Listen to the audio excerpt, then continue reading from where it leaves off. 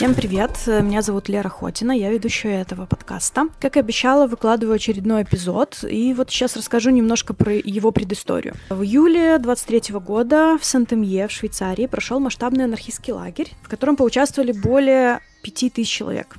Каждый день проходило чуть ли не по 10 мероприятий параллельно в разных локациях, в том числе в городском доме культуры, там со сценой. Часть мероприятий транслировались в онлайн-режиме, и их, кстати, можно еще посмотреть на э, платформе этого события, и переводились синхронно на 6 языков. Мы с другими товарищами там провели мероприятие под названием «Критический анализ солидарности в контексте войны в Украине», и хотели поделиться там своими наблюдениями и опытом взаимодействия с европейскими анархистами по этому вопросу. И вот этот эпизод — это переозвучка этого мероприятия, потому что оно проходило на английском языке. Я перевела его, и а, мы переозвучили его на русском. Я попросила тех участников и участниц, которые говорят по-русски, которые там участвовали, озвучить самих себя, а тех, кто не говорит по-русски, озвучили просто случайные люди, которых я попросила это сделать. В самом начале панельной дискуссии в зал пришла группа антимилитаристов, которые попытались, не знаю, то ли сорвать, то ли саботировать нашу встречу. Они принесли с собой плакаты «Нет войне»,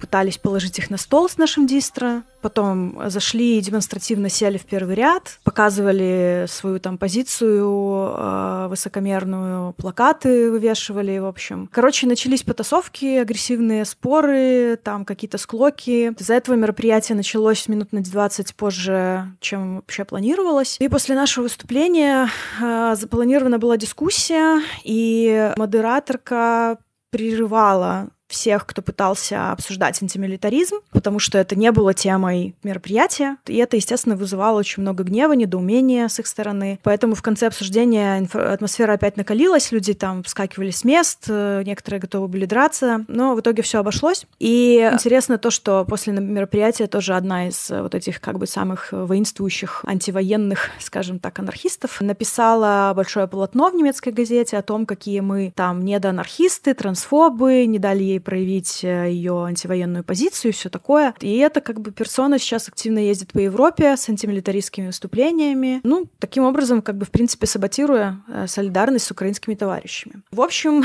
слушайте с удовольствием. Кстати, текстовый вариант этого выступления доступен на сайте Промень, а еще э, мы сделали брошюрку из этого текста, потому что он достаточно длинный, и ее можно купить на саботаж дистро. Все ссылки я оставлю в описании. И еще один момент, на котором хотела остановиться. В тизере я рассказывала, что начинаю финансовую пирамиду, то есть э, за 40 дней до годовщины войны я обещала постараться найти 40 человек, которые будут ежемесячно на протяжении года донатить по 25 евро. И таким образом получается 1000 евро, то есть э, регулярно, ежемесячно можно будет передавать 1000 евро коллективам солидарности. Это покроет там около 10% их э, ежемесячных расходов. Из слушателей подкаста отозвались два человека, кстати, спасибо огромное. В целом и мне, и другим участникам, уже которые люди добавлялись в эту нашу пирамиду, удалось найти уже совместно 37 доноров, то есть нас сейчас уже 37 человек. Осталось всего три человека, до нашего, нашей кругленькой суммы.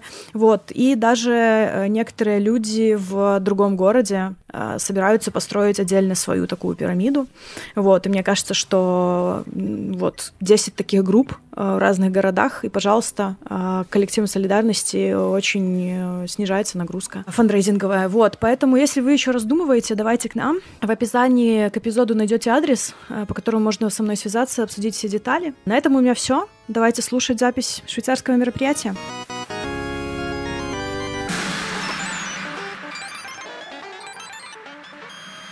Приветствуем всех на нашем мероприятии. Прежде чем начать выступление, мы хотели бы почтить память одного из наших товарищей, погибших на войне в Украине, а также память всех людей, которые пострадали от российского террора и погибли в бою, были убиты и замучены российскими имперскими оккупантами. Мы приглашаем вас почтить их память минутой молчания. Спасибо. Меня зовут Нина. Я участница группы АЧК Дрезден. Я попробую модерировать первую часть мероприятия. Прежде всего, мы хотели бы поблагодарить всех, кто поддерживает нашу борьбу с первых дней вторжения или присоединился к ней позже. Сегодня мы будем говорить о критических моментах, поэтому хочу заметить, что все, о чем мы говорим, конечно, не относится ко всем без разбору. Людей, которые сейчас находятся за этим столом, я знаю довольно давно, и мы занимались солидарностью еще до вторжения. Это действительно замечательные товарищи, от которых я многому научилась за последний год и которые помогли мне увидеть ситуацию с другой стороны. У нас была возможность планировать, что мы будем делать еще до начала войны, потому что было ясно, что война вот-вот начнется. Мы обсуждали, как будем поддерживать наших товарищей в Украине. За эти полтора года совместной деятельности мы столкнулись со многими трудностями в разрезе солидарности.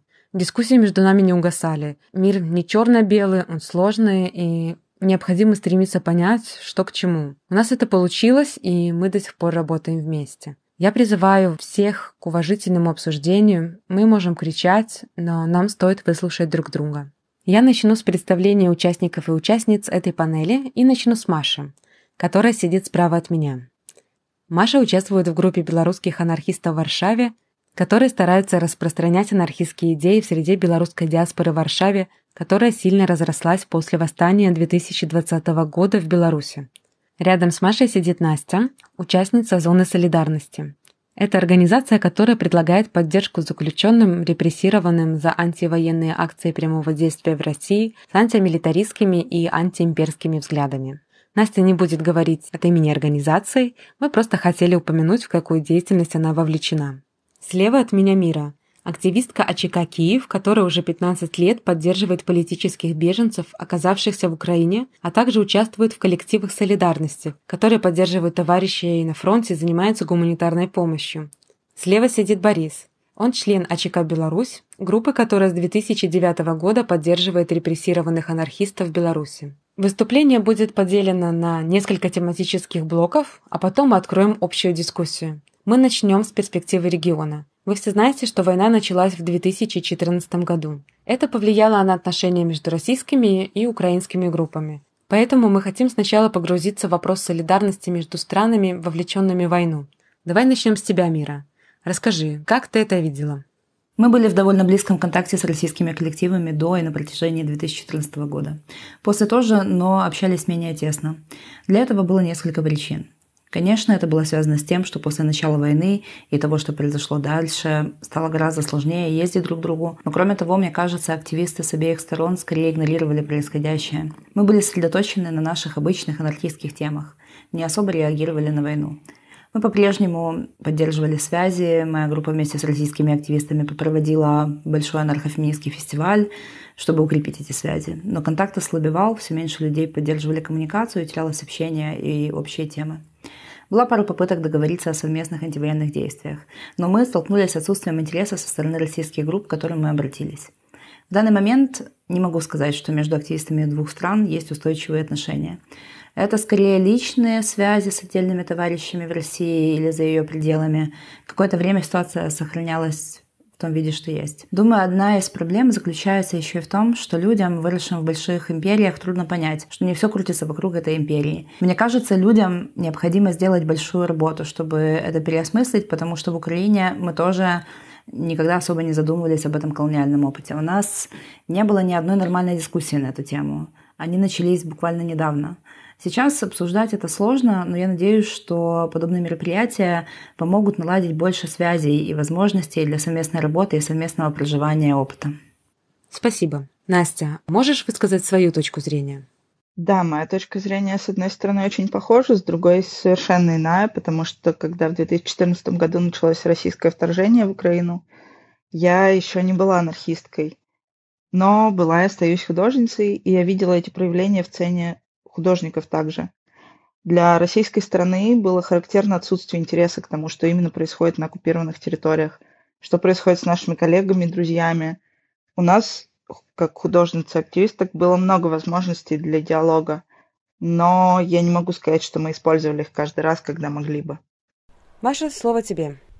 А, я хотела поделиться мыслью, которая недавно пришла мне в голову с разрушенных связях из-за событий, произошедших после Майдана в 2014 году. Я пришла в активизм примерно в 2008 и в то время в России, в Украине, Беларуси постоянно организовывались какие-то лагеря активистские, куда приезжали сотни товарищей со всех трех стран. После войны российские товарищи, особенно мужчины, уже не могли ездить в Украину, поэтому э, мы почти полностью переориентировались на Россию. Так что с тех пор отношения укреплялись скорее только между белорусскими и российскими активистами. Со временем путинский режим становился все более репрессивным, и мы стали организовывать только закрытые лагеря. Э, через какое-то время они прекратились. Э, в Беларуси вообще не было возможности ничего организовывать. После 2010 года невозможно было пригласить товарищей, ну разве что, если только чтобы их арестовали в лицу или типа того. Думаю, э, важно сказать, что хотя Беларусь тогда не была частью этого конфликта, в отличие от сегодняшней ситуации, мы как движение тоже от него пострадали. То есть, э, как белорусское движение, мы тоже никогда не задумывались о том, насколько сильно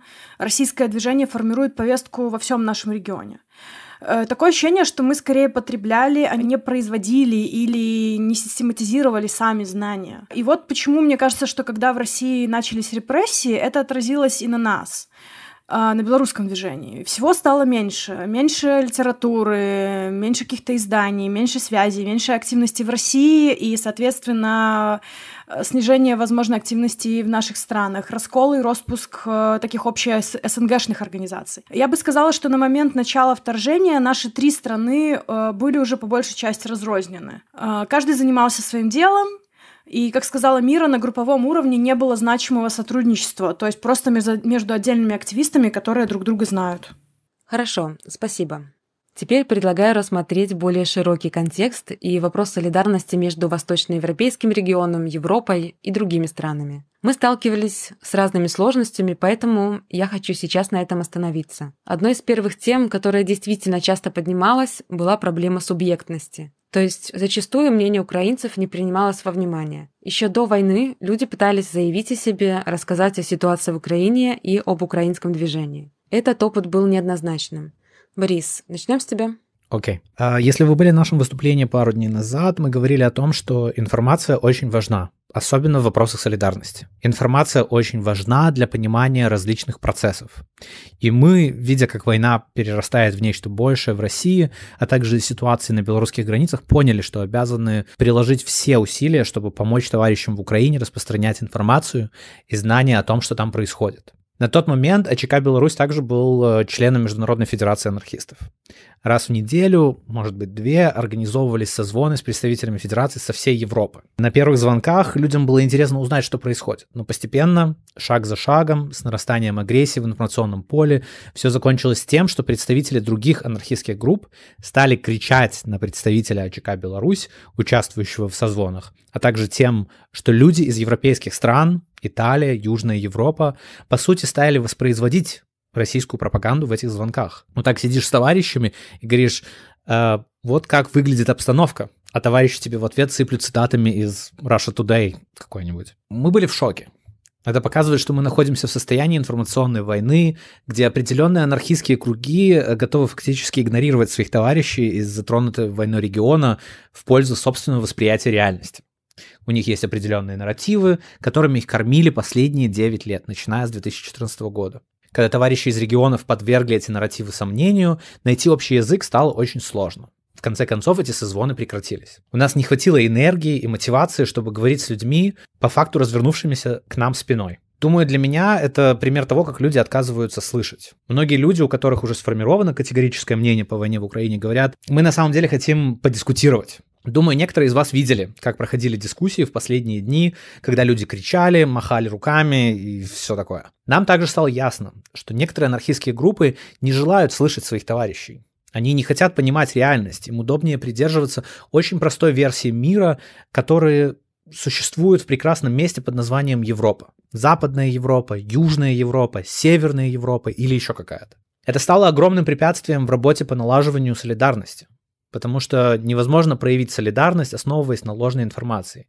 Нельзя проявлять солидарность на основе ложного нарратива. Нельзя заниматься солидарной работой и укреплять солидарность, опираясь на шаткую идейную платформу, под которой ничего нет. Настал момент, когда мы с этим столкнулись, потому что для белорусов это не было актуально. на протяжении долгого времени, ведь белорусский режим не так силен в распространении дезинформации. Хотя от некоторых товарищей, которые мало знают о Беларуси, периодически приходилось слышать, что Беларусь чуть ли не социалистическое государство. Дезинформация – это очень серьезное оружие против солидарности, которое часто используется государством. Хотя наше движение очень немногочисленно, и может казаться, что Путин не думает об анархистах, на самом деле мы очень сильно подвержены этой дезинформации. Мне кажется, мы уже затрагивали это вчера, в том числе на мероприятии, посвященном ситуации в Иране, где товарищи говорили о существовании определенных нарративов, которые продвигают определенные государства или регионы как антиимпериалистические, и все следуют этим старым нарративам. Я думаю, что мы и здесь с этим сталкиваемся. Мира, расскажи о вашем опыте решения этих проблем. Да, мне это знакомо. В Украине существуют различные коллективы, у нас активная сцена, есть свои сайты, есть ресурсы, с нами можно поговорить, мы открыты для выступлений. С начала полномасштабного вторжения я выступала около 50 раз, и везде люди готовы были слушать. Только на одном выступлении слушать они не хотели. Мы готовы делиться своим опытом и позицией, но многие коллективы в нас просто не нуждаются, им не нужен наш опыт. Они считают себя экспертами по нашей теме. Мы не субъекты. Это скорее похоже на, не знаю, как феминистка я чувствую себя так, как если бы мужчины делали заявление о феминизме. Например, цисгендерные мужчины, которые никого не слушают вообще. Я чувствую то же самое, когда какой-то коллектив, неизвестно где, например, далеко в Европе, и они очень привилегированы, на мой взгляд, потому что для украинцев иметь европейский паспорт – это часто верх мечтаний. И у них есть все ресурсы, есть интернет, возможность общаться. Мы, мы им просто не нужны. Я приезжаю на такие мероприятия, и люди, зная, что в зале сидит несколько человек из Украины, обсуждают связанные с Украиной темы без нас. Кроме того, в украинском движении есть консенсус относительно того, что необходимо делать. Нас поддерживает российское движение, белорусское движение, польское движение. Люди, которые находятся ближе к Украине и которых эта ситуация затрагивает, которые действительно знают о ситуации – которые к нам ездят, ездят на линию фронта, чтобы доставить воду, еду, припасы. Но по мнению западных коллективов, это глупые люди, которые не обладают достаточной экспертностью в вопросах войны, но людей, которые находятся далеко и не имеют ни малейшего представления о том, как мы живем, у них якобы есть экспертность. Так что для меня выглядит странным, что нас даже не спрашивают. Я думаю, что это противоречит всем анархическим принципам, но для некоторой части движения это, видимо, нормально. Извините, я до сих пор в шоке от того, что произошло в начале. Как анархисты мы хотим иметь право голоса. Мы не хотим, чтобы к нам относились как к какой-то мелкой сошке в геополитике. Нет, мы существуем и боремся. Умирают не европейцы, умираем мы. И мы хотим иметь право голоса, чтобы нас хотя бы не перебивали.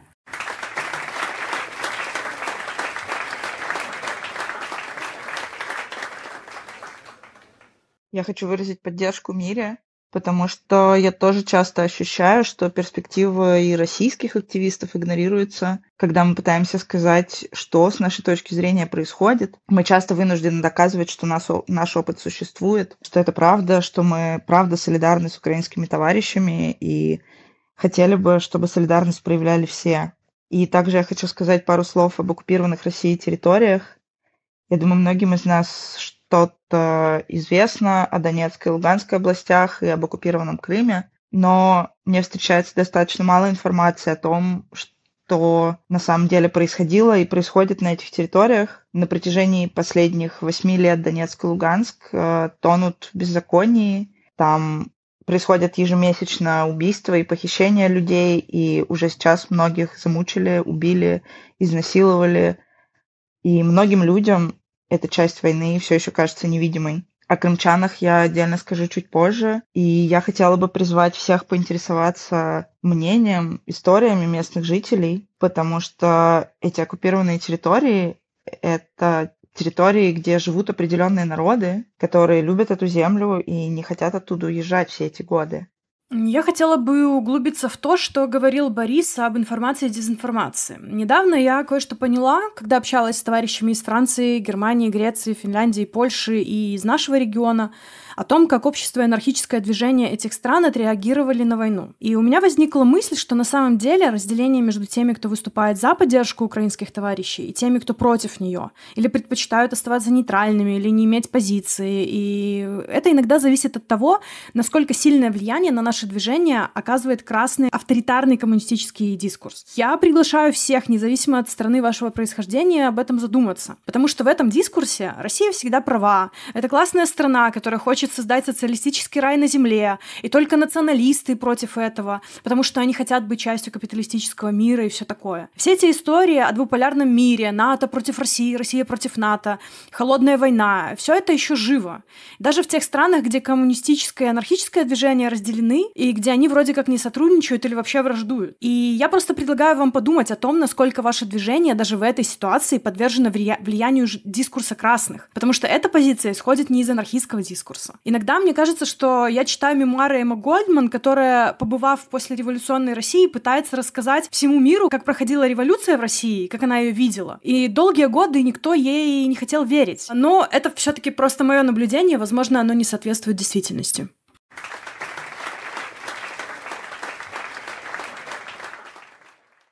Спасибо. Еще один важный момент, который проявляется во всей этой дискуссии и который мы уже немного затронули, это колониальная и империалистическая перспектива, которая проникает в наше движение.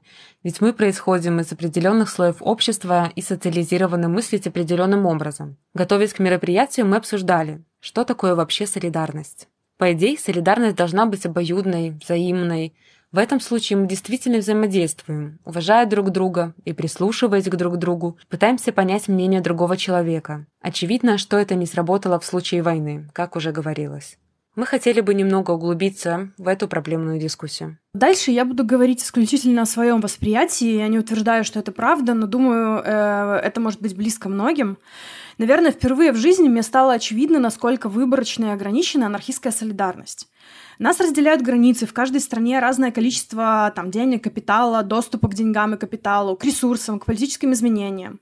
Мир и Европа, в частности, поделены на регионы. Запад, Восток, Юг, Север и так далее. И я удивлена, насколько наше движение копирует эти закономерности. И насколько солидарность разделена по линиям таких исторических, традиционных колониальных держав, а также капиталистического изобилия или недостатка ресурсов. Думаю, вы согласитесь, что есть огромная разница между тем, что украинские товарищи откажут солидарности французскому активисту или группе, в плане ресурсов, влияния, международной солидарности, которую они получают, и тем, что французские или немецкие активисты, э, например, откажут солидарности украинскому движению. Думаю, очевидно, что мы в этом плане не равны, что есть последствия отказа, солидарности с разных сторон, и они неоднозначные. Может быть, вам даже в голову это не приходит вообще, что где-то существуют какие-то там белорусы или украинцы, и что мы вообще можем вам в чем-то отказать или что-то предложить. С другой стороны, будучи человеком из Восточной Европы, я всегда смотрела на западных товарищей как на таких законодателей мод, да, пионеров всего активизма. У вас есть инфраструктура, у вас есть знания, мы переводим ваши книги, читаем, как вы живете, как вы организовываетесь. Мы стараемся копировать ваши практики. Если бы вы приехали в Беларусь пару лет назад, когда еще какие-то э, коллективы там существовали открыто, э, можно было бы встретить группу Bombs или коллектив фримаркета, или вообще любые другие идеи, которые вы уже давно, 10 лет назад реализовали и про них забыли, а мы все пытаемся их укоренить у себя. И с другой стороны, мы также особо не рефлексируем свою позицию. Мы часто видим вас как обладателей ресурсов. Например, мы приезжаем к вам, чтобы собрать денег или попросить вас о чем-то, а, а вы можете нам это дать или отказать. Но это мы приезжаем и пытаемся вам рассказать о себе пытаемся объяснить, надеемся, что вы послушаете. Это немного унизительно, э, но здесь еще и наше восприятие, как будто мы видим вас не как равных товарищей, а как ресурс. И над этим нам тоже следует задуматься, чтобы вот выровнять эти чаши весов, потому что для меня это обоюдный процесс. И задача не только в том, чтобы вы дали нам субъектность, но и чтобы мы перестали воспринимать других товарищей кем-то выше себя и считать себя какими-то неполноценными. Но проблема еще и в том, что после вторжения я столкнулась э, с тем, что многим западным товарищам было удобнее видеть нас жертв. Мы делаем много презентаций о Беларуси, и все нам всегда сочувствуют, потому что мы живем в такой хуевой стране, нам нужна помощь, мы жертвы, понимаете? Но всякий раз, когда мы заявляем, что у нас есть свое мнение, то есть можно ли нам его высказать? Может ли у нас быть другая перспектива или точка зрения? Вот мы отказываемся копировать вашу, впервые, возможно, да? Хотим создавать свой анализ ситуации. И что тогда? И это тот случай, когда некоторые люди оказываются не готовы к такому повороту. Пока мы разделяем вашу перспективу, все окей. Как только мы прекращаем это делать, мы становимся варварами. Как будто мы, мы там что-то не понимаем, не дочитали, э, не, не изучили э, матчасть, мы какие-то тупенькие. Э, надеюсь, понятно, что это не так. Мы умеем читать. У нас есть доступ к той же информации, что у всех вас. Просто мы живем в другой реальности. И последнее, что хочу заметить, это тоже немного связано с политкорректностью, которая э, негласно принята в движении, как мне кажется. Я бы назвала это экзотизацией. То есть, э, например, да, э, обсуждать э, или учиться там у курдов, у сапатистов, это круто, да, потому что они такие, они какие-то другие, они от нас так отличаются, вот у них можно научиться многому. Но чему можно вообще научиться у украинцев? Ну, это такие же европейцы, такие же белые, как мы, Пусть э, либо они у нас сами учатся, либо, ну, как бы следуют общим принципам западной цивилизации или там западной, западного активизма, скажем так.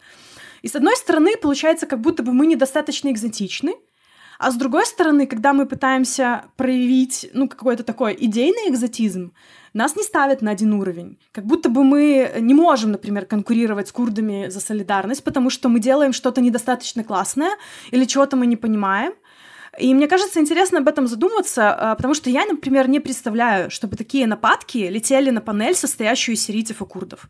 Но нападать на нас считается абсолютно ок. Потому что мы белые, мы типа европейцы, все выдержим. Так и должно быть. Так что да, я думаю, это очень интересное наблюдение.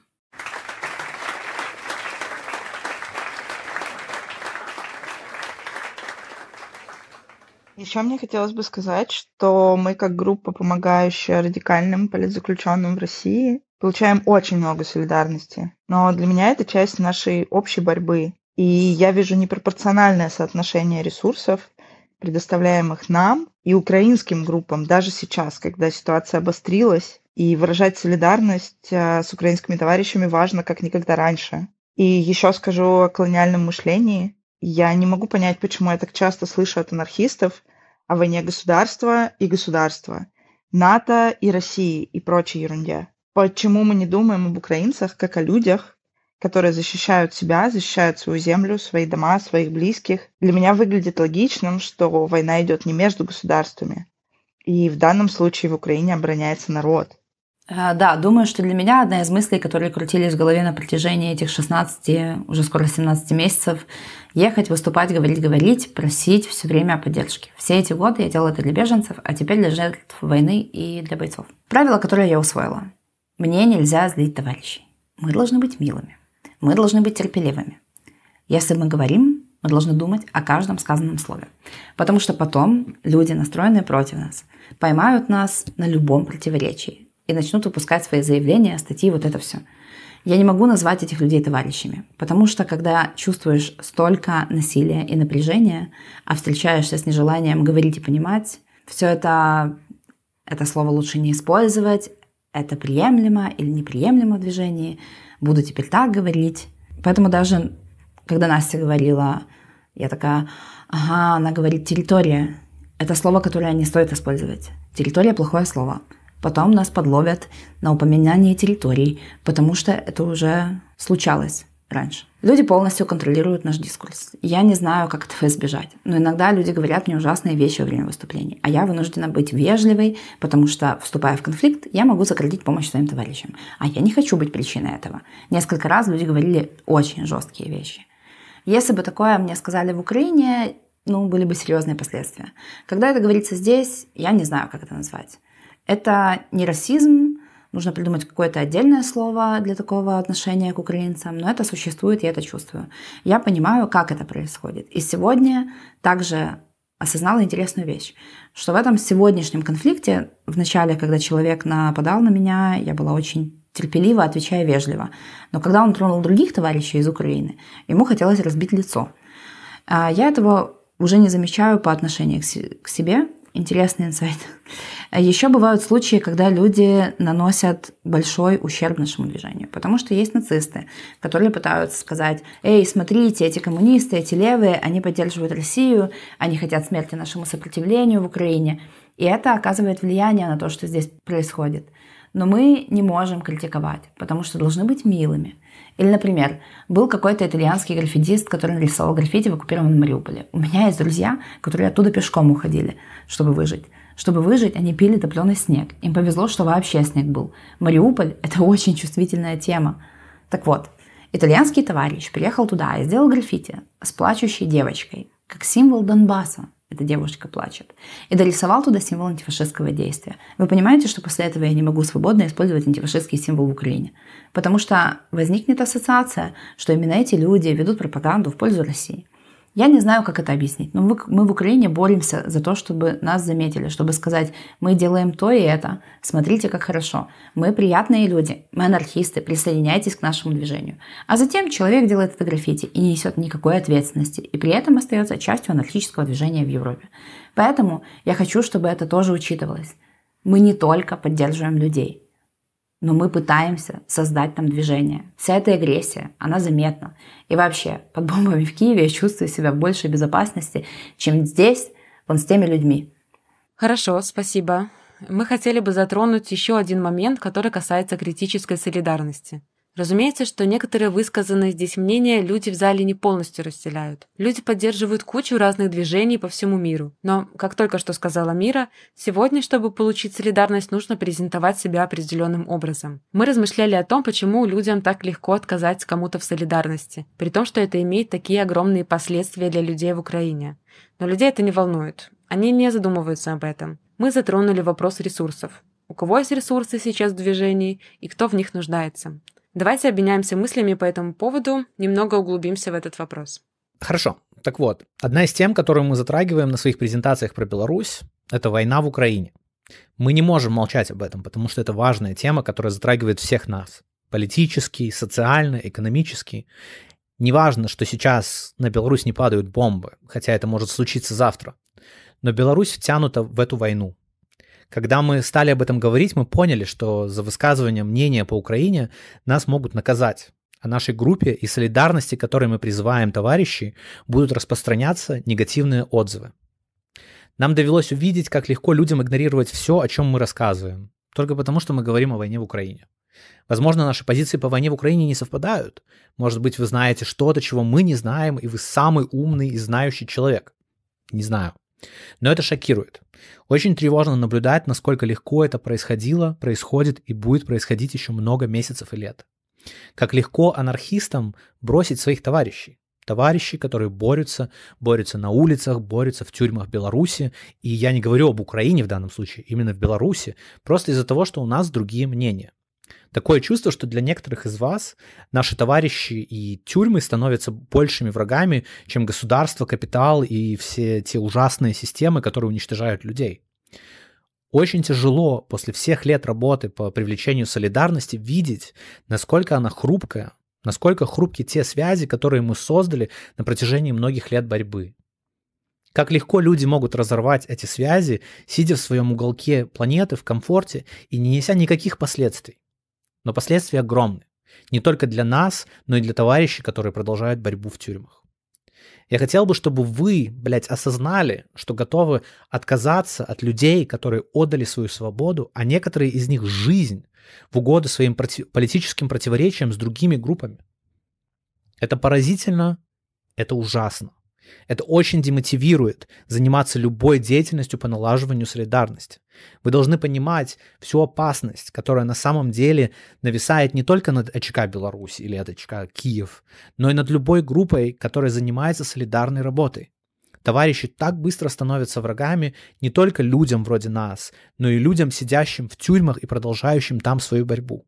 Я тоже выскажусь про наших товарищей в тюрьме, как э, персона, занимающаяся работой солидарности и поддерживающая заключенных в российских тюрьмах. Я не могу представить, что все эти люди, наши товарищи, наши друзья, окажутся на свободе, если российский режим останется у власти. Невозможно представить, что, например, репрессированные крымские татары выйдут на свободу. Наверное, важно напомнить, что с момента оккупации Крыма репрессии со стороны российского режима коснулись целой группы коренных жителей, и они получают огромные тюремные сроки в 10-20 лет и вплоть до пожизненного заключения, просто потому что они долгое время противостояли любой власти и были совершенно независимы от любого государства. Это люди, которых осудили по террористическим статьям за то, что они просто были частью локального сообщества. Их тоже не освободят, разве что в чьих-то фантазиях. Я не знаю, какое волшебство должно произойти, чтобы это случилось. Для меня совершенно очевидно, что свобода наших товарищей и сотен заключенных в российских тюрьмах напрямую связана с падением этого режима, этого государства и этой страны в ее нынешнем состоянии. Я вот думаю, движение в Европе борется за какие-то свои права, против угнетения. Нас больше всего угнетает нападение россиян. Так почему люди тут считают, что они достойны справедливости, они борются за свою справедливость, а нам предлагается только мир? Потому что справедливость для меня – это выход на свободу моих друзей, заключенных в российских и белорусских тюрьмах. Для меня справедливость – это возвращение украденных детей в их семьи, потому что Россия украла много детей с оккупированных территорий и увезла их в Россию – для меня справедливость заключается в том, чтобы не просыпаться каждую ночь от бомб, потому что нас реально бомбят каждую ночь. За месяц было одна или две ночи тихие. Справедливость для меня еще и в том, чтобы достигнуть мира, настоящего мира, чтобы у нас было пространство все обдумать, отгоревать всех, кого мы потеряли. Потому что просто остановить войну на текущем этапе – это не справедливость и не мир. Интересно, что это очередной раз популяризируется как не наша борьба. Такие аргументы я слышала во время Майдана, что это не наша борьба, это не по анархии, это не то и не это. И мне действительно интересно, какой идеальной революции с идеальными анархистами ждут здесь люди.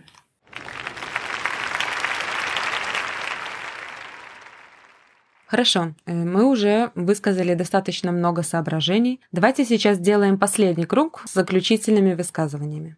Необходимо постоянно поддерживать наших друзей, наших товарищей, активистские группы в Украине. И это продиктовано феминистской, деколониальной, антиимперской логикой. По-моему, быть феминисткой значит иметь право на самооборону, на отпор. И именно этим сейчас занимается украинский народ и украинские группы солидарности. Они реализуют свое право на самооборону. Последняя мысль, которой хочется поделиться, а, связана с тем, что часто, декларируя свои анархические принципы, мы такие как бы, мы типа антикапиталисты, мы антисексисты, мы антигомофобы, антимилитаристы, кто угодно. Это превращается в пустые фразы, если на самом деле мы не создаем никаких структур, поддерживающих эти заявления. Сказать, что ты антисексист, легко. Но представим, что человек говорит, да, что его домогались, например, и ты ему говоришь, отвали, как ты смеешь такое говорить, мы же тут все антисексисты, у нас сексизма не может существовать в принципе. Это не соответствует принципам анархизма. Поэтому больше эту тему не поднимай. Ну, разве кто-то бы так сказал? И мне кажется, что антимилитаризм становится вот чем-то похожим. Такие декларации солидарности с народом, с рабочим классом, без каких-то практических действий. Не обязательно эта солидарность должна быть с коллективами солидарности или там с какими-то еще группами, да, которые поддерживают э, товарищей на фронте. Но я не вижу, что реально делают люди, которые заявляют о своей антимилитаристской позиции в анархистском движении. Заявляют о солидарности с украинским народом или с рабочим классом. То есть вот как они проявляют эту солидарность, кроме текста непонятно. И насчет идеологической чистоты, да, вот возьмем этот лагерь. Не знаю, насколько вы вовлечены в общение с организаторами или насколько вы следите за местным телеграм-чатом, где каждый день появляются сообщения то о том, что кто-то испортил что-то, что кто-то что-то сломал, что грозится приехать полиция, что пожарные там не могут проехать, им, им заблокировали пути, что люди заблокировали сигнальную систему поездов, там отменилась половина поездов никто не может доехать. Для нас это просто сообщение, да, которое мы читаем, тут наслаждаемся этим местом, взаимодействуем с людьми, ходим на мероприятия и так далее. Но за кулисами, да, вот этого всего сидит, ну, я не знаю, сколько людей в группе и принимают эти ебаные звонки от мусоров, от пожарных, от мэра, уговаривают их позволить нам остаться, чтобы на этот лагерь нахер не снесли. И пока мы тут сидим, такие категоричные, антигосударственные, антиполицейские, никаких разговоров с властимущими, никаких диалогов, кто-то за нас ведет все эти переговоры, чтобы это мероприятие не закрыли. Почему некоторым так сложно понять, что в реальной жизни невозможно быть принципиальными по всем вопросам всегда? Почему так сложно понять, что для того, чтобы мы сидели здесь и нас не бомбили, чтобы на нас прямо сейчас не нападало фашистское государство, Кому-то нужно прямо сейчас воевать на ебаных границах Востока и Запада. И да, мы можем не обращать внимания на этих людей, считать, что они дурачки, но именно они, их деятельность сейчас позволяет нам жить. Так что для меня это очень четко связано с тем, что полной принципиальности не существует. Мы не дураки, чтобы отрицать, что участие анархистов в армии — это противоречие с точки зрения идеалистической анархистской картины. Но мы предлагаем товарищам солидарность, потому что понимаем, что в этой картине гораздо больше оттенков, чем просто черный и белый.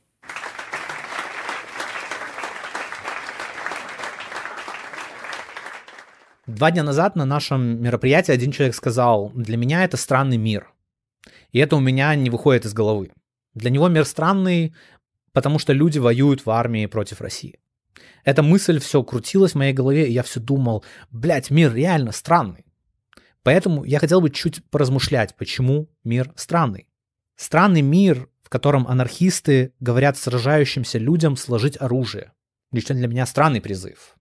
Странный мир, в котором так называемые анархисты устраивают митинги против солидарности с теми, кто борется за свой дом. Странный мир, в котором важнее бросить вызов товарищам из захваченных войной регионов, чем проявить хоть каплю солидарности. Странный мир, в котором капиталистический мир анархистам важнее, чем борьба с диктатурой.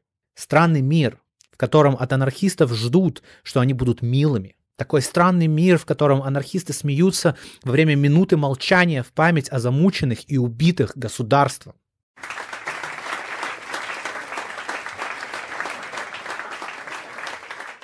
И последнее, думаю, все знают, что такое крепость Европа. Это ужасный надгосударственный монстр. Она простирается до восточных, южных и северных границ. Это место, где вы живете. Это место, где мы сейчас вынуждены жить. Место, где вы наслаждаетесь миром. Вы наслаждаетесь миром, вы боретесь против государства, вы боретесь против капитализма, но вы должны понимать, что когда вы призываете людей бежать в крепость Европу, они могут не хотеть этого делать. За последние годы вы могли убедиться, что многие люди предпочитают оставаться в зонах боевых действий, где их ждут пытки, смерть, голод и болезни. Разумнее им было бы приехать сюда, найти здесь дом, так вам может казаться. Но спросите себя, почему люди по всей планете, в странах, охваченных войной и борьбой, не хотят ехать сюда, в ваше прекрасное место с голубым небом, горами, зелеными лугами и так далее. Мне важно, чтобы вы поняли, мы не хотим жить в крепости Европы, в вашей крепости Европа, с фальшивым миром, с фальшивым наслаждением жизнью, с фальшивыми, блядь, высокими зарплатами. Нам это все не надо. Мы анархисты. Хотим упразднить крепость Европу. Нам не нужно это прекрасное место, где люди могут наслаждаться покоем, пока весь остальной мир горит. Мы, анархисты, должны быть там, где горит мир. Мы, анархисты, должны быть с нашими товарищами на улицах, в окопах, в тюрьмах или за их пределами. Мы должны проявлять как можно больше солидарности, потому что солидарность — это то, что нас всех усиливает.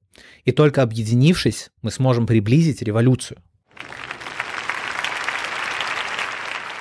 Хочу сказать, что когда все началось в 2014 году, мы, как антимилитаристы, подписывали все эти заявления, бла-бла-бла, потому что считали, что возможность мира еще не потеряна и хотели, чтобы война просто прекратилась. Мы так уже делали. Не то, чтобы мы не пробовали. Мы боролись против милитаризации. Если вы посмотрите старые заявления, там будут и наши подписи. Большинство из тех, кто подписал эти заявления, сейчас воюют. Один из моих друзей, подписавших это заявление, сейчас в тюрьме. Теперь он военнопленный. Мы пробовали разное, но в какой-то момент мы поняли, что проблема в том, что Россия захватывает территории, а потом заставляет людей против их воли идти уже в их армию и захватывать новые территории. Это и есть милитаризация, а мы антимилитаристы. Наши антимилитаристы решили вступить в армию, чтобы остановить все это. Вот как мы это видим. Вы можете не соглашаться, но многие люди видят ситуацию именно так. Это не профессиональная армия. Это гражданские лица, которые пошли воевать и надеются вернуться к своей гражданской жизни как можно скорее. Это не те люди, которые строят армянские структуры и хотят в них остаться. Также я хочу сказать о солидарности, что на самом деле солидарность это не только то, чем нам помогает Европа. Сейчас внутри самой Украины очень много солидарности. Дело в том, что в основном пожертвования поступают от людей из Украины, хотя многие люди имеют очень маленький доход, но все равно донатят. Когда кто-то погибает, э, когда я недавно потеряла товарища, первое, что мне хотелось сделать, это срочно поехать к своим товарищам, потому что они те, кто понимает и кто поддержит. Даже когда мы совершаем ошибки, мы бережно относимся друг к другу. Мы не судим так категорично, мы пытаемся понять друг друга. Жаль, что иногда, чтобы стать более анархичными, почувствовать больше солидарности, почувствовать, что ты часть своего сообщества, нужна война. Это ужасно, но это правда. Это многое меняет. Борис говорил о том, почему люди не хотят жить в Европе. Лично я до вторжения думала о том, чтобы пожить где-то за пределами Украины. Было бы неплохо провести где-то лето, не уехать навсегда, но на год или два было бы неплохо. Но когда это все произошло, где-то появилась фейковая новость о том, что Германия выдаст паспорта украинцам. В тот момент я подумала, черт возьми, нахер мне ваш паспорт, он мне не нужен. Потому что когда случается что-то подобное, единственное, чего ты хочешь, единственное, о чем ты думаешь, это о безопасности своих людей, о том, чтобы они выжили. Неужели нет ничего более интересного, чем немецкий паспорт? Никому даже не было интересно. Было бы здорово, если бы люди задумались о солидарности и справедливости в отношениях друг с другом, основанных не только на каких-то незыблемых принципах, но и на том, чтобы просто быть человеком, частью сообщества, частью движения. То, как люди высказываются, не сама критика, а то, как ее высказывают. Да, возможно, мы люди из Украины слишком остро реагируем, соглашусь. Я определенно реагирую слишком остро. Когда тут кто-то кричит, когда кто-то пытается что-то сказать против нас, потому что это очень чувствительная тема. А еще я феминистка, и я думаю, что если бы подобная критика высказывалась против феминисток, люди бы поддержали меня и поняли, почему я так остро реагирую. Но это война. У нас у всех есть погибшие люди, некоторые из них были очень близкими людьми. И мы не хотим ходить на мероприятия, где нас могут травмировать. Потому что понимаем, что не стоит туда ходить, потому что это будет очень травматично но люди все равно нас хотят догнать, донести свои ценные мысли, и никто не видит, что то, что они делают, и есть травматизация и насилие. Хорошо, спасибо большое. Большое спасибо всем за ваши мысли. Знаю, это все очень сложно.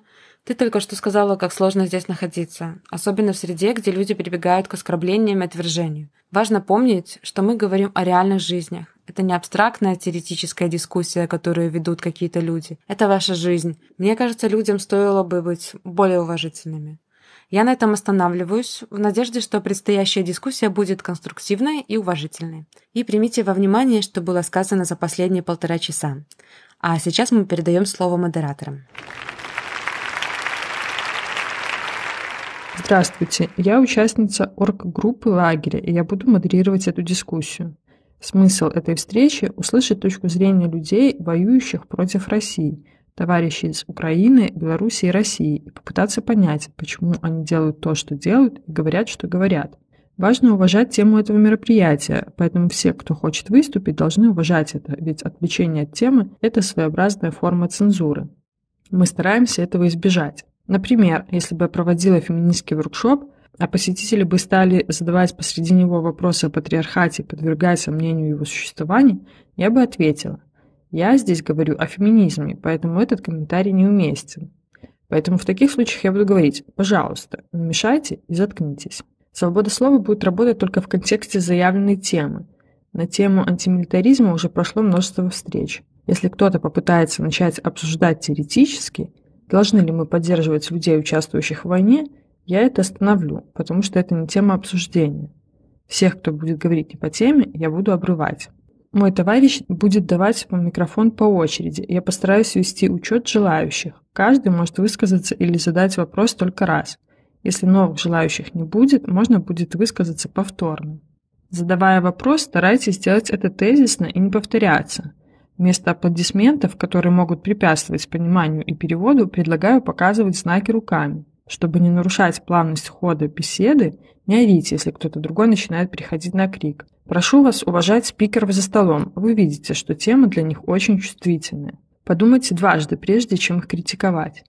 Я попробую модерировать. Если у меня не получится и будет много хаоса, я просто закончу это мероприятие. Давай начнем с тебя. Я просто хочу выразить свою печаль. Мне грустно от того, что мы не смогли здесь сосредоточиться на актуальной теме, заявленной для этого обсуждения. Но мне это понятно, потому что второе, что меня огорчает, это то, что, кажется, многие наши товарищи, не только в Европе, относятся к солидарности как к супермаркету. Типа идешь и выбираешь какие-то продукты или кладешь их обратно на полку со словами «это не совсем то, что мне нравится», «здесь плохой состав», или «недостаточно калорий», или типа того. На одном из предыдущих мероприятий товарищ сказал, что мы должны здесь воспевать дух Михаила Бакунина. Не думаю, что Бакунин пошел бы в супермаркет солидарности. Наоборот, он попытался бы поддержать национально-освободительное движение и народное восстание, превратить их в революцию и научить людей идеям анархизма. Вот это я хотел сказать. Но у меня есть еще вопрос. Не могли бы вы рассказать немного о международных легионах и о том, что они собой представляют? Как они устроены? Нужно дождаться возвращения мира. Она сможет ответить на этот вопрос. А пока что послушаем следующую реплику. Э, я против всех войн, понимаете? Я не только за Украину. Я не против делать минуты молчания, но за всех. За всех жертв всех войн. Потому что войны, они против всех, кто умирает. Так, не перебивайте меня. Я по теме говорю. Я долго держал руку. Сегодня мы все жертвы империализма. И мы, анархисты, можем поддерживать Украину, но при этом не участвовать ни в какой войне. Здесь переводчица прекратила перевод по знаку модераторки. Очевидно, что в такой накаленной атмосфере очень трудно говорить о том, что на самом деле представляет собой ваша деятельность в Украине. Мне было бы очень интересно узнать о том, как можно практиковать антиавторитаризм в таких сложных условиях. И, возможно, вы можете привести практические примеры повседневной активности в этом сложном контексте. Так, вопрос о том, что мы практически делаем внутри Украины. В 8 часов у нас будет презентация о коллективах солидарности.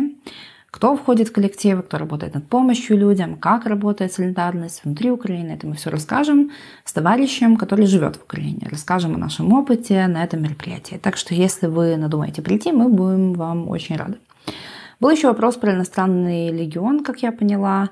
Мы не работаем с рандомными людьми из них, э, от людей, которые там были. Я слышала разные комментарии о людях в этих подразделениях, и это просто какие-то иностранцы, которые приехали воевать, э, не правые, не левые, просто разные люди, э, и которые не были знакомы друг с другом. В начале вторжения эту тему сильно продвигали, но по итогу осталось э, какое-то количество подразделений, которые являются частями этого иностранного легиона.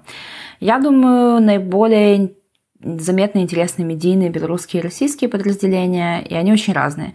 То есть это отдельная тема для обсуждения, так что иностранный легион, если представить их как одну группу людей, приехавших в Украину, то ну, это так не работает. Это скорее бюрократическая процедура для людей, которые сражаются в разных группах, но и все являются иностранцами. Надеюсь, я понятно сказала.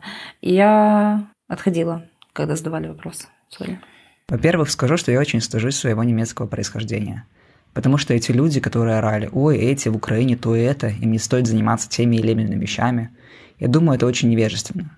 Мне также стыдно за то, что, как вы сказали, у нас так много ресурсов, но мы не используем их по-настоящему продуктивно. И главное, я хотел бы сказать, давайте, блядь, относиться серьезно к тому, что мы называем себя анархистами, активистами и так далее, иначе это не более чем красивая нашивка на сумке или типа того. И второй момент – Сегодня прошла координационная встреча антимилитаристов. Я сходил туда послушать, о чем они будут говорить. Не все там оказались придурками, но те же ребята, что были там, пришли сюда, чтобы сорвать эту встречу. Это просто пиздец. Потому что все было именно так, как вы описали. Они говорили, мы против войны. Нужно остановить всех, кто взял в руки оружие. Но они даже не думали, что вы уже давно все это обсудили, что вы тоже думаете об этом. Я просто хочу привести три примера того, как можно проявлять солидарность, при этом оставаясь антимилитаристом. Например, можно организовать всеобщую забастовку вооруженной промышленности, но это должно произойти в Иране, потому что Иран поставляет оружие России. Но если забастовку сделать в Украине сейчас, последствием будет вторжение России, и это не круто. Вторым примером может быть поддержка боевой организации наркокоммунистов, которая занимается нападениями на российскую военную инфраструктуру. Так что хорош ворчать, мы хотим мира, бла-бла-бла. Езжайте туда, собирайте деньги. И да, поддерживайте антивоенных активистов в России – Например, если вы против оружия, можно выслать бронежилеты, которые спасут жизни. Это будет лучше, чем кричать «У, нельзя идти на фронт, вы же анархисты». Понимаете, о чем я? И последний вопрос. Мне очень интересно, не думали ли вы об объединении с анархистами в Иране, Судане и так далее? И есть ли у вас какие-то контакты с ними? Потому что, мне кажется, это может стать своего рода начальной ячейкой или глобальным отрядом самообороны против всех государств, против вторжений, против милитаризма и за свободу каждого человека. Спасибо. Спасибо. Я буквально кратко отвечу о товарищах в Иране и Судане. Мы поддерживаем связь с товарищами из Судана. К сожалению, ситуация у них действительно плачевная, и их не так уж много. Единственное, что удалось сделать на данный момент, это выслать им деньги. Но мы стараемся оставаться в контакте. Кстати, к сожалению, прямо сейчас одновременно с этим мероприятием проходит встреча, посвященная низовым движениям в Судане и Иране. Если это вопрос к Украине, то у нас нет прямых контактов, мы заинтересованы в них, потому что, да, есть другие места, где происходят подобные события, но надо тоже учитывать, что мы небольшое движение, и ресурсов для того, чтобы действительно следить за другими регионами не всегда хватает. Много внимания направлено на Курдистан. Об этом у нас э, больше какого-то понимания, потому что были товарищи, которые туда ездили, рассказывали. А, был товарищ из России, который ездил повсюду и создал сайт, на котором публикуются тексты о Курдистане, написал книгу. К сожалению, он недавно погиб в бою. Я знаю, что люди продолжают заниматься этой работой. Что касается Судана и Ирана, думаю, это было бы интересно, но дело не только в нас. Они тоже никогда не пытались выйти на контакт, так что мы должны найти какие-то ресурсы с обеих сторон в какой-то момент, когда это будет возможно. Было бы здорово, если бы это случилось, но пока такого не произошло. Э, мой комментарий не касается Ирана или Судана, простите. Я просто хотел прояснить одну вещь, важную для меня и, думаю, для всех сидящих за этим столом. После наших выступлений сегодня или на предыдущих мероприятиях, есть ли в этом зале люди, которые считают, что мы поддерживаем войну? Поднимите руки, чтобы всем было понятно, что мы за войну. Потому что до меня э, донеслись какие-то комментарии об этом из того угла. Походу, вы меня не слушаете. Очень важно прояснить, что люди, сидящие за этим столом, выступают против всех войн и считают, что хороших войн не бывает. Но иногда мы оказываемся помимо своей воли втянутыми в войну, и сейчас именно такой случай.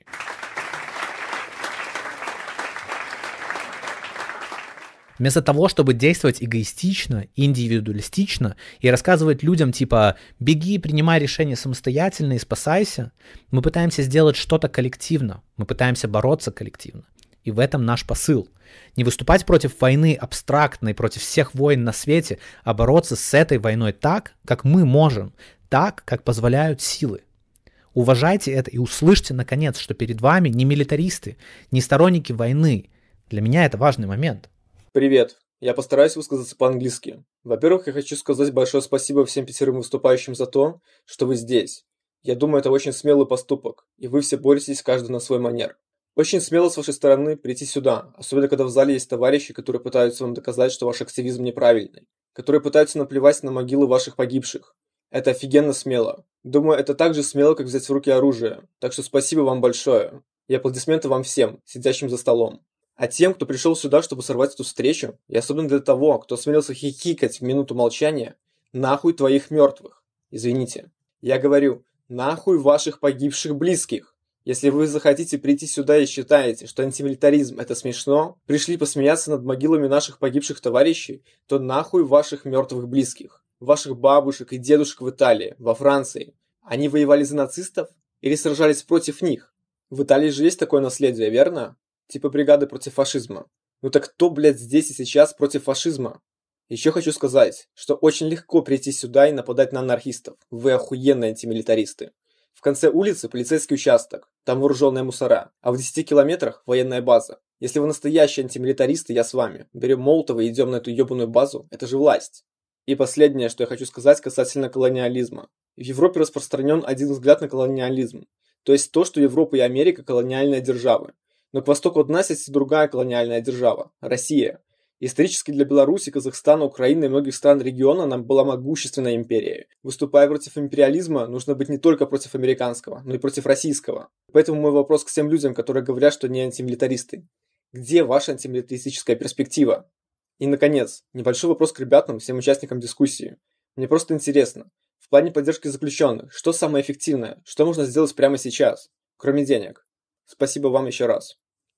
Я не думаю, что сейчас акции солидарности возле посольства или еще где-то там имеют большой смысл, или что они реально оказывают на власти давление, или что у нас вообще остались хоть какие-то рычаги воздействия на режим в России или Беларуси, на которые мы могли бы надавить. Но мне кажется важным начать задумываться о том, что мы будем делать э, со всеми людьми, которые выйдут э, из тюрем? Э, некоторые из них в тюрьме уже второй раз. А еще с людьми, которые побывали, например, на фронте, в бою э, и будут страдать от психологических травм, как и бывшие заключенные. Мы как движение не готовы принять их и жить с такими людьми, у которых, э, ну, реально глубокие психологические травмы могут быть. Это мой собственный опыт. Я знаю, как сложно жить с товарищем после того, как он прошел тюрьму в Беларуси, но я могу только представить, каково это получать военный опыт. Думаю, что нужно подготовиться к этому и, ну, как бы построить какие-то структуры, которые могут, э, помогут ресоциализировать этих людей, да, э, вернуть их в движение, э, помогут проявлять коллективную солидарность, чтобы у них действительно было место, где можно остановиться и прийти в себя. И это не какая-то движ... неделя, там, пожить где-то на сквоте вписаться.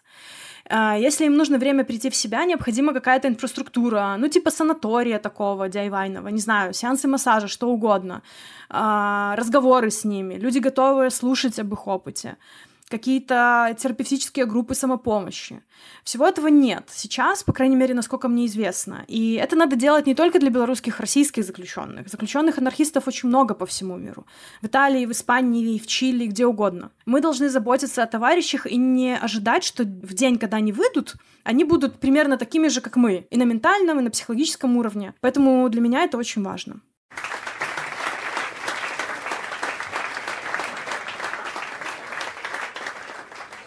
Я в своих выступлениях всегда говорю, что чтобы наши товарищи не гнили в тюрьмах России и Беларуси по 20 лет, нужен крах путинского режима.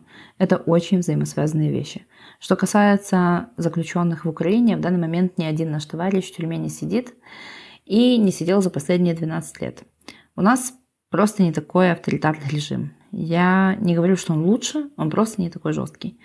Кроме того, учитывая тот прием, который нам здесь оказывают, многим товарищам из Украины я точно не рискну рекомендовать приехать в Европу, потому что тогда у них будет повторная травматизация, ведь они могут встретить людей, настроенных агрессивно по отношению к ним. Тут есть люди, так называемые антимилисты, они любят дезертиров, и бывают люди, выехавшие из Украины, которые не стали воевать, но они же не хотят им помочь, они хотят помогать тем, которые назовут себя пацифистами. А эти люди не пацифисты. Я здесь и не в армии, не потому что я пацифистка. Я просто боюсь умереть в бою. Я недостаточно храбрая, вот в чем дело. А, по поводу заключенных и текущей войны, да и всех идущих сейчас войн. Вы живете в ебаной столице капитализма. А это значит, что происходящее здесь влияет на другие регионы. В качестве примера возьмем покупки в Икее. Дерево для мебели поставляется из Беларуси. Ваши стулья вполне могут производиться в белорусских тюрьмах. Так это работает. Многие из вас выступают против поставок оружия в Украине, но почему-то от анархистов исходит немного призывов к блокированию работы военно-промышленного комплекса, поставляющего товары в Россию. Обратите на это внимание, подумайте, как можно подорвать российский капитал в вашей стране. Вы же в Швейцарии, это же столица капитализма. Российского капитала так много, что вы можете сильно обогатиться, если найдете способ его присвоить. Так сделайте что-нибудь. Например, перестаньте тратить свою энергию на блокирование поставок пары танков в Украину. Делайте то, что действительно влияет на обстановку в других странах. Да, это потребует немного больше усилий, чем прийти на презентацию и попиздоболить о наших погибших товарищах. Это сложно. Это, блядь, требует усилий. Так приложите эти усилия так же, как люди, которые сейчас воюют и тратят громадные усилия на эту борьбу. Я хотел бы сказать кое-что о путинской пропаганде и ситуации с Украиной о связи между путинской пропагандой и войной. Много пропаганды распространяется и публикуется на немецком партии Die Linke. От сталинистов тоже, но много пропаганды исходит и от правых. Например, в Германии есть партия АФД, которая выступает против отправки военного снаряжения в Украину. Так что в этом плане левые и правые объединились. Известно, что правые партии получают деньги от России. Как вы оцениваете ситуацию в Украине в области прав человека и как может развиваться ваше движение? Что необходимо защищать в первую очередь? Война многое разрушает. Да, нарушаются права человека, но люди, которые обычно участвуют в протестах, сейчас в основном служат в армии или занимаются волонтерской деятельностью. Поэтому я бы сказала, что государство во многом сходит с ума. Они делают многое из того, что планировали сделать уже многие годы, и теперь у них для этого есть возможность, особенно в области трудового права. А многое, что они делают, просто отвратительно. Наш лучший специалист по правам человека, который фактически поддерживал ЧК Киев по вопросам заключенных и беженцев до вторжения, сейчас сам является военнопленным. Максим Буткевич, которому была посвящена целая кампания, известный в Украине антимилитарист и журналист, который также боролся против языка вражды, а теперь россияне его обвиняют в нацизме, в совершении военных преступлений. И он сидит в российской тюрьме на территории, ну, на оккупированных территориях. В общем, война усугубляет всю ситуацию. Экономику, права человека, все. Конечно, когда идет война, все работает не так, как должно. Не только на фронте. Важные для многих хороших дел люди погибают, сидят в плену, участвуют в сражениях, так что на данный момент в этих областях наблюдается множество сложных ситуаций и нехватка людей.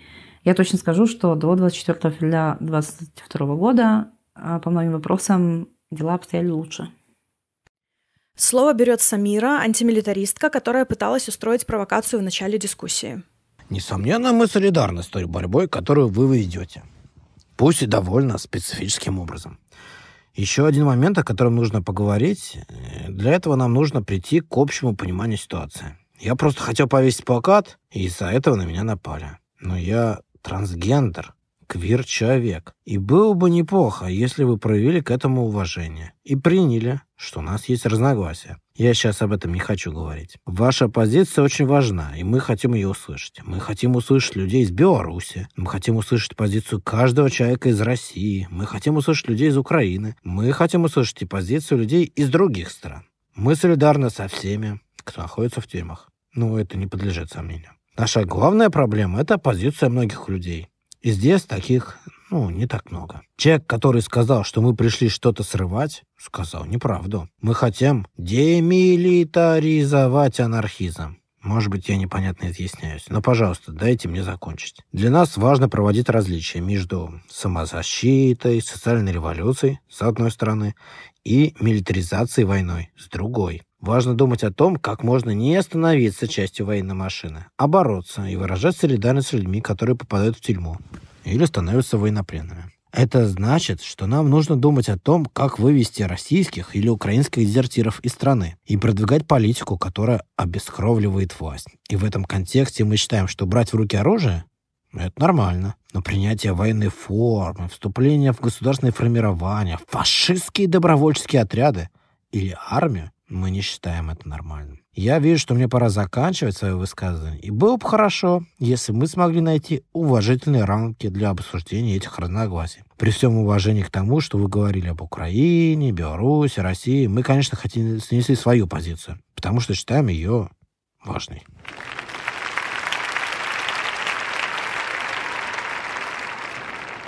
Спасибо за вопрос.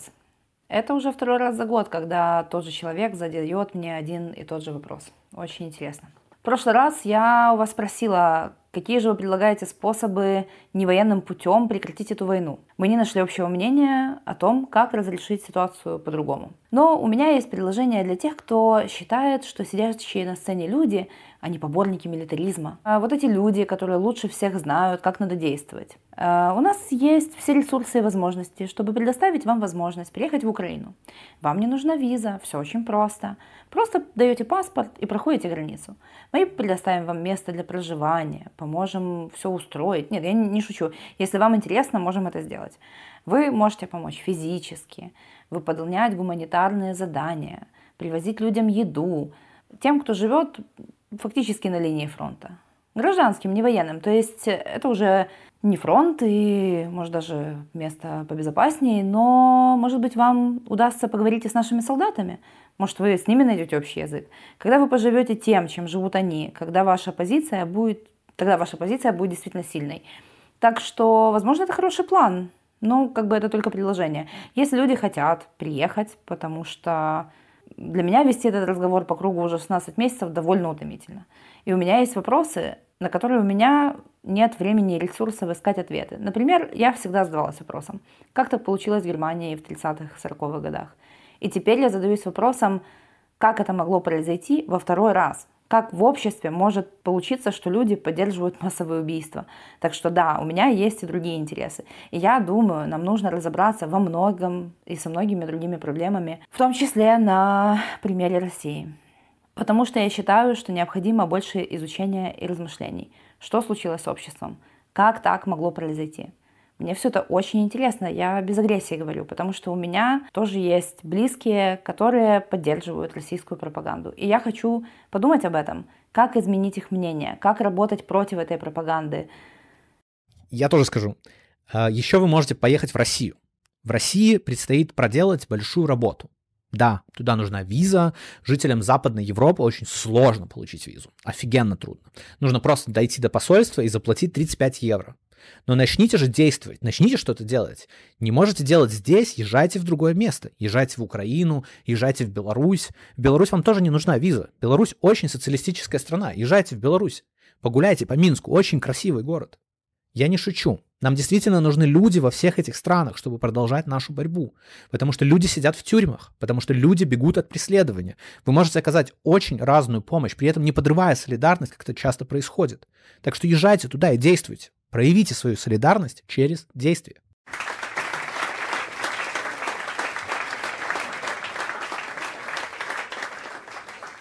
Хочу прокомментировать ситуацию, а, когда методы борьбы, используемые одними анархистами, считаются, например, контрреволюционными или там, разрушительными для движения другими активистами. Ну вот, например, я позиционирую себя как анархокоммунистка. Я искренне считаю, что многие индивидуалистические направления анархизма являются контрреволюционными или разрушительными для движения. По крайней мере, для той деятельности, которой я занимаюсь, и для моего видения революции. Э, иногда они реально противоречат тому, что я хочу доносить до людей, и я не согласна с тем, как они видят вообще развитие и какой-то прогресс. Но мне и в голову не приходило, что я могу прийти и навязать им что-то. При этом я и сама никому не позволяю навязывать мне какие-то мнения. Например, э, типа, когда другие анархисты будут мне говорить, что делать. Э, прошло 16 месяцев с начала вторжения. Просто примите как факт, что в мире, в Украине, в этом зале есть анархисты, которые не против использования этого метода в данной ситуации. У вас нет выбора, кроме как просто принять это. Не пытайтесь срывать нашу деятельность. Если вы считаете, что это контрреволюционно, окей, делайте свои мероприятия, разбирайтесь, какой стратегии вы хотите следовать. Но не просите нас разбираться в ваших убеждениях и на них реагировать.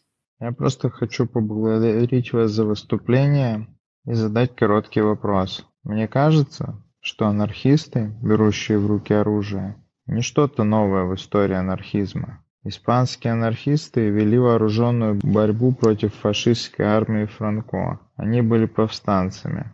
Сейчас современные украинские анархисты берут в руки оружие, чтобы защитить себя от оккупации. Мне кажется, что многие люди не обращают внимания на то, что когда российская армия оккупирует часть Украины, люди пропадают, людей забирают в пыточные центры.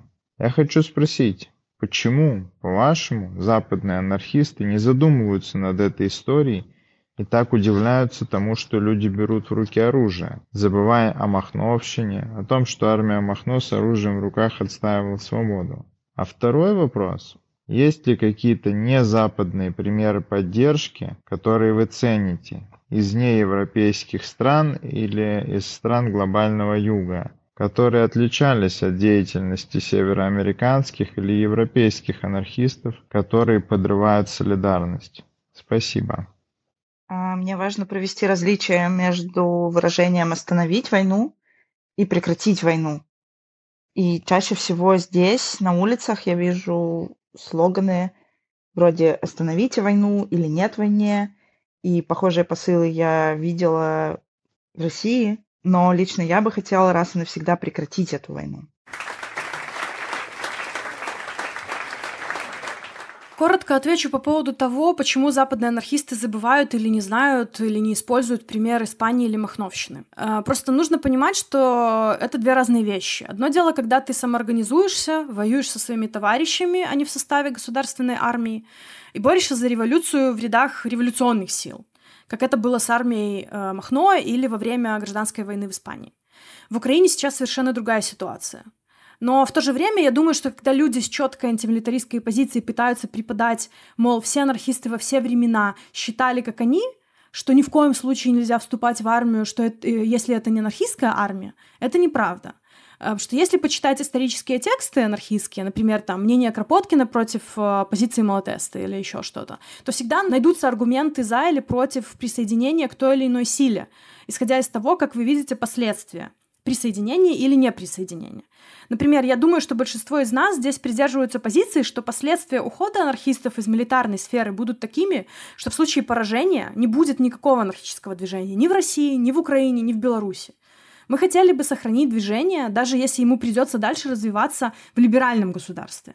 А так оно и будет, потому что мы не верим в одномоментную революцию, которая наступит за один день. Но мы готовы бороться за то, чтобы жить в либеральном, а не фашистском государстве. Потому что это вопрос выживания. Здесь мы можем хоть как-то существовать, а не умирать и гнить в тюрьмах. Поэтому мы принимаем вхождение в армию как метод. Это временное решение, мы понимаем все его недостатки, мы не идиоты. Но мы считаем, что э, это самое правильное решение в данный момент. Поэтому мы призываем всех, даже если вы не поддерживаете эту тактику, прислушайтесь к товарищам, которые там находятся. Неужели это так сложно? Я отвечу на ваш вопрос о солидарности в других частях света. Мы уже немного говорили об этом. Для нас сначала многое было сосредоточено на Москве, потом на Берлине и на Западе вообще. Мы проводили анархофеминистский фестиваль в Украине. Одной из главных целей было наладить контакты между активистками Западной и Восточной Европы.